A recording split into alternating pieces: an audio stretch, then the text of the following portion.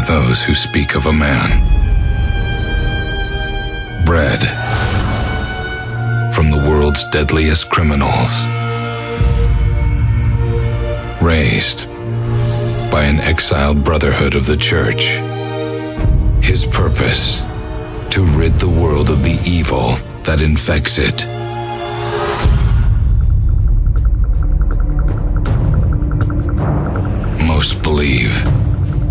His very existence is a sin.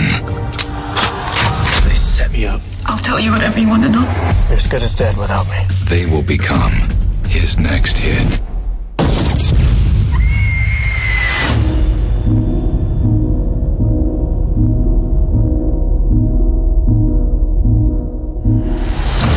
Who are you? The place I was raised, they didn't give us names. They gave us numbers. What was your number? 47.